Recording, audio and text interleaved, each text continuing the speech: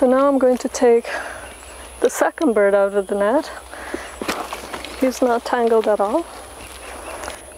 When they wait in a bag, it's very relaxing for them. And so this is probably a juvenile male. It, it has some chestnut and some black. So it means that it's turning from a juvenile into a male. And so they're singing just as if they were an adult male, but their plumage is still that of a juvenile. And so next year, this time, this bird will be completely gray. And so again, the bird is tangled and we have to untangle the toes and then take it out of the net and take standard measurements like weight, tarsus, and wing chord, and a little bit of blood.